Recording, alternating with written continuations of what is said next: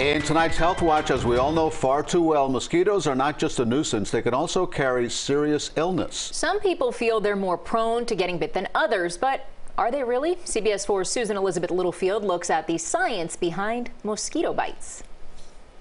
With all of the fun that summer entails, there's a nuisance too those pesky mosquitoes. Do you get a lot of mosquito bites?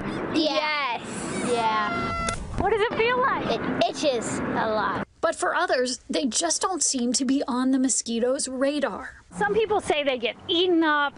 Where do you fall on that? My mom and I like garden a lot in our backyard, and like I'll see her come with like tons of mosquito bites, and I'm here like, oh, I have nothing. So why are some people more prone to bites than others? One thing that scientists have known for a long time is that mosquitoes are attracted to the odor of um, used gym socks. University of Minnesota entomologist Dr. Jon Oliver has the unexpected explanation.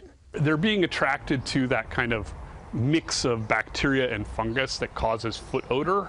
That's why mosquitoes often bite people on their feet and ankles. Dr. Oliver says mosquitoes can also be drawn to people for genetic reasons. Some people metabolize food in a certain way and emit a certain smell. So it may not be that you're unclean. It might be your particular odor attracts the bugs? Absolutely. So if you had two perfectly clean people next to each other who just had the same, you know, bathing regimen, uh, one of them could definitely still be bitten more than the other. So it's not in our heads. Some of us are more prone. Yeah, it's absolutely the case. So be sure to protect yourself from those mosquitoes. Use repellent and wear long pants and sleeves. Susan Elizabeth Littlefield, CBS News.